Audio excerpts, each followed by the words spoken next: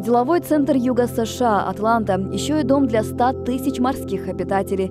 Здесь находится крупнейший в западном полушарии океанариум. Еще несколько лет назад он считался самым большим в мире. Огромная стеклянная стена и бесконечный туннель позволяют посетителям увидеть все краски подводного мира. Этот аквариум настолько большой, что здесь ты словно под водой. Чувствуешь себя дайвером, оказавшимся в самой экзотической части океана. Здесь тысячи обитателей теплых тропических морей, а также самых холодных океанов. Среди них морские львы, белуги и китовые акулы. Главные обитатели океанариума – китовые акулы. Их здесь четыре, и у каждой есть имя – Элис, Трикси, Юшань и Тароко. Китовые акулы – одни из самых малоизученных рыб. Ученые, работающие здесь, научились проводить ежегодные медицинские обследования акул прямо под водой, без необходимости ограничивать их в движении. Они также разработали особый метод по изучению размера этих рыб. Гарри Уэбб – знаток китовых акул. Для определения размера китовой акулы мы не можем просто использовать рулетку. Эта рыба очень большая, и она всегда находится в движении. Мы используем специальный метод, с помощью которого можно фотографировать акулу и вычислять ее реальную длину. Мы усовершенствовали эту технику здесь, в аквариуме, и используем ее при измерении китовых акул в океанах.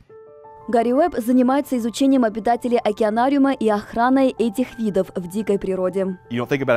Вряд ли вы думали, что Атланта — отличное место для китовых акул. Правда ведь? Для многих это лишь мегаполис, но такое расположение дает возможность делиться всей информацией, всеми образцами с местными университетами и таким образом узнавать об акулах еще больше. Именно образцы ткани первых двух китовых акул, которые неожиданно погибли после того, как их привезли в аквариум, позволили Гарри Уэбу и его коллегам составить генетическую карту этих морских обитателей. Эта карта много рассказала нам о китовых акулах, об истории их перемещений, о том, почему они в итоге стали такими большими. Она дала нам представление о том, с чего начать изучение этих акул. Китовые акулы обитают в прибрежных водах Тайваня, Индонезии, у побережья Мозамбика, Восточной и Юго-Восточной Африки. Но у ученых еще много вопросов. Как размножаются китовые акулы? Образуют ли они подвиды? Какова их численность? Для человека они не представляют никакой опасности, но человек для этого редкого вида крайне опасен. Несмотря на запреты, этих акул продолжают использовать в пищу. Аквариум Атланты приютил китовых акул именно с целью привлечь внимание людей к этому виду. Но это далеко не единственная экзотика океанариума. Здесь рыбы-бабочки, французский щетинозуб, синий хирург, рыба-наполеон.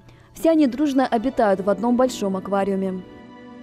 Подобного соседства рыб вы не встретите в дикой природе. Кормят всех рыб по отдельности, по четкому расписанию несколько раз в день. Процесс кормления китовых акул выглядит так. У каждой лодки и каждого ковша определенного цвета ждет одна из четырех акул, которая знает, где именно ее будут кормить. Ежегодно аквариум посещают 2 миллиона человек для сотрудников и волонтеров аквариума, а это почти две с половиной тысячи человек. Он стал крупным научным и образовательным центром. Ануша Витисян, Давид Гагохия, Сергей Дагатарь. Специально для программы «Детали».